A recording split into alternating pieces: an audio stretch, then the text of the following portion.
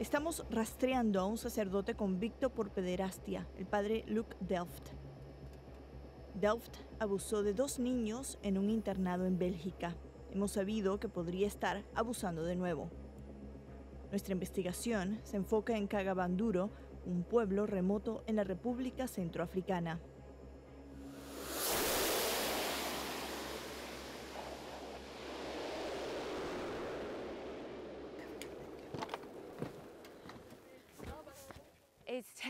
Nos llevó dos días y tres aviones llegar aquí, en el norte de la República Centroafricana.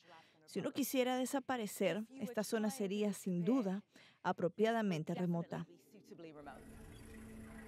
UNICEF se refirió a este lugar como uno de los peores en el mundo para ser niño. Es aquí, en Cagabanduro, donde Delft trabajó por primera vez con Caritas, la organización de caridad católica cuya misión es proteger a los más vulnerables. Es también aquí donde oímos rumores de nuevas posibles víctimas. En un campamento para personas desplazadas en las afueras del pueblo, Alba y su padre aceptan hablar con nosotros sobre su supuesto abuso por parte del padre Delft. ¿Sabes quién es este hombre? Luke. ¿El padre Luke? Éramos amigos. Me compraba ropa y a veces me daba dinero. Todas las mañanas lo saludaba antes de que saliera a trabajar. Así era nuestra amistad. Eran amigos. ¿Qué ocurrió? Fue horrible lo que me hizo. Cuando usted me enseñó su foto me puse mal. No quiero ni verle la cara.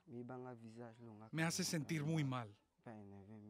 Queda claro que Alba se siente demasiado molesto para seguir hablando. Por eso le preguntamos a su padre si él podía explicar lo que pasó. ¿Qué le hizo el padre Delft? Lo que hizo a mi hijo no es nada bueno. Hay muchas mujeres con las que podría tener sexo. Prefirió sodomizar a mi hijo. Esto fue difícil, tanto para Alba como para su padre, pero nos dijeron que para ellos era importante hablar. Quieren justicia.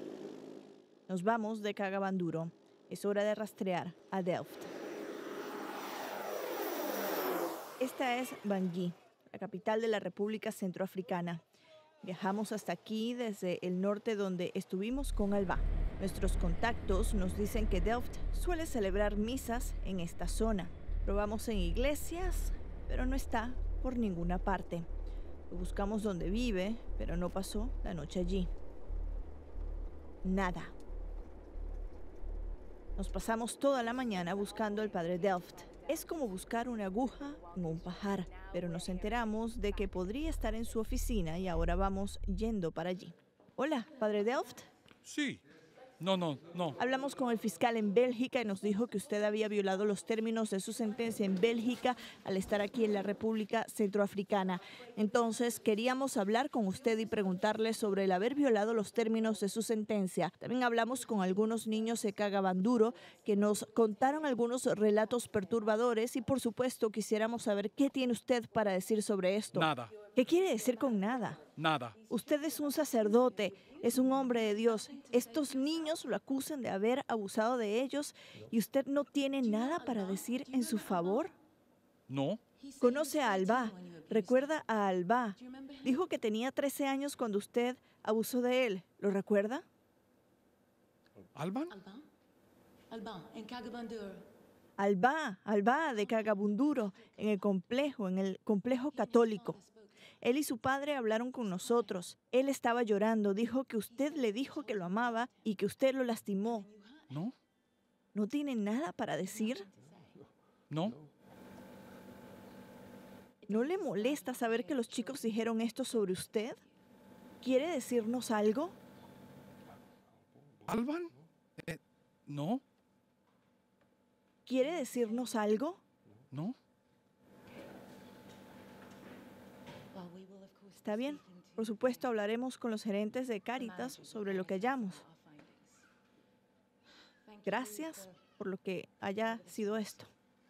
La orden religiosa del padre Luke, los salesianos de Don Bosco, le trasladó múltiples veces, cada vez a escuelas, universidades, incluso a supervisar niños antes de que pudiéramos darle alcance. Usted quizás piense que ya conoce esta historia, de sacerdotes que abusan de los niños.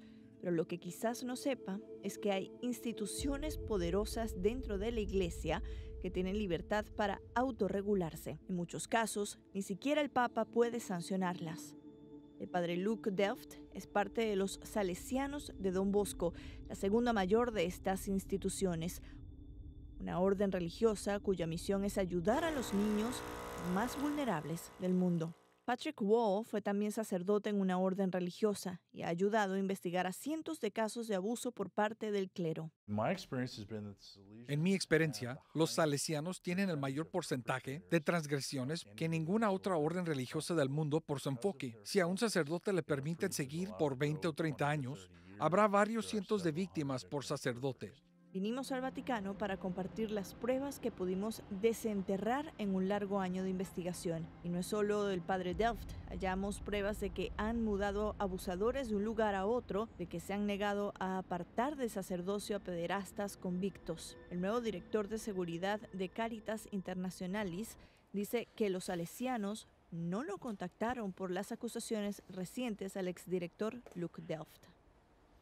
Entonces, solo se enteró cuando lo contacté yo. Sí, por la información que usted compartió con nosotros, hay nuevas acusaciones que necesitan ser investigadas en lo posible con la policía o al menos internamente en la iglesia para tomar medidas contra el padre Luke y cualquier otra persona responsable de la conducta del padre Luke. Los salesianos parecen no haber compartido información con otros en la iglesia. Todavía estamos tratando de entender cómo esto es posible. El padre Hans Zollner fue una de las pocas personas en el Vaticano dispuesto a responder nuestras preguntas. Dice que los nuevos lineamientos papales están avanzando.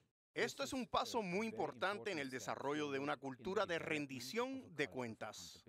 Se aplica esto a las órdenes sagradas porque hay algunas órdenes sagradas que no responden en forma directa a ese obispo.